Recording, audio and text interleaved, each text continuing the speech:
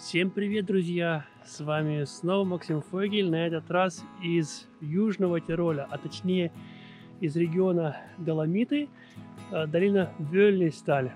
Здесь, хоть это итальянский район, преобладает два языка, немецкий или диалект южно-тирольский и итальянский, поэтому все названия дублированы. Вы наверняка много слышали про скитур в Доломитах.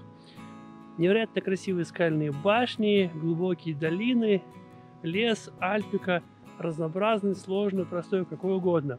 Вот я добрался до Доломит, поднимемся на вершину Цензля Кофль.